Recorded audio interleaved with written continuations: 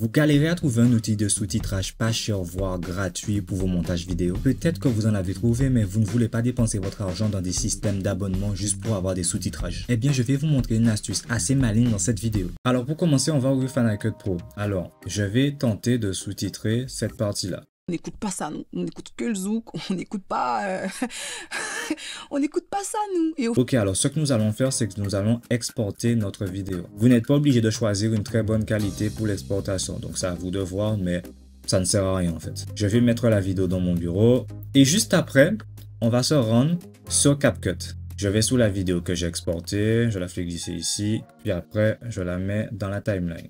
Ensuite, je vais dans Texte, Sous-titrage automatique. On va bien sûr français, créer.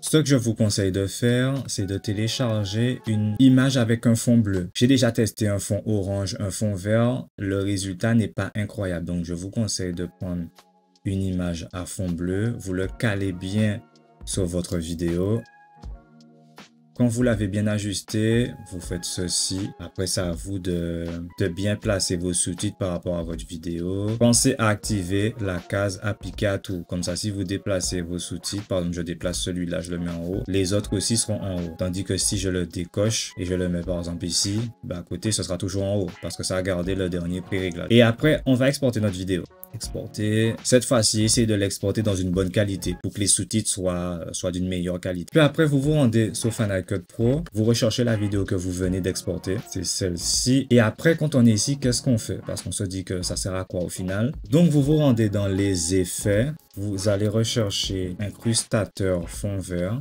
et vous l'appliquez ici.